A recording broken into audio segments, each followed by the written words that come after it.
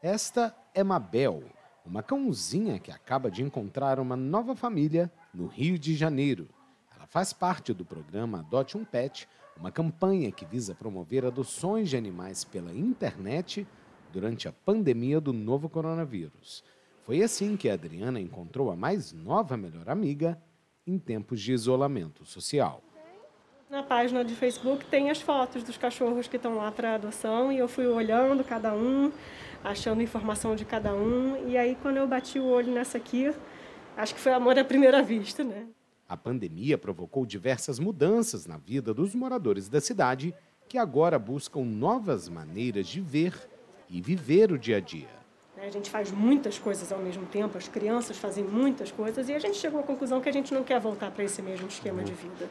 Né? Ele não é um esquema saudável, né?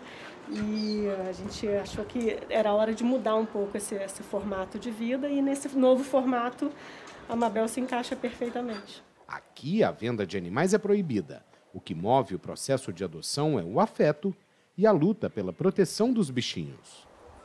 A procura está muito grande.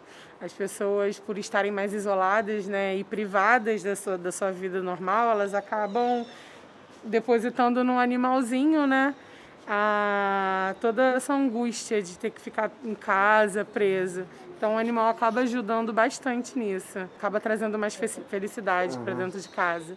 Para a especialista, além de felicidade, os animais podem ser importantes agentes no tratamento de diversas questões de saúde. Toda aquela ansiedade, pessoas que sofrem de depressão, pessoas que ficam angustiadas mesmo, né? Em situações normais e, acabou aumentando, acaba aumentando ainda mais por conta da pandemia, eles acabam ajudando isso porque distrai a mente da pessoa, né?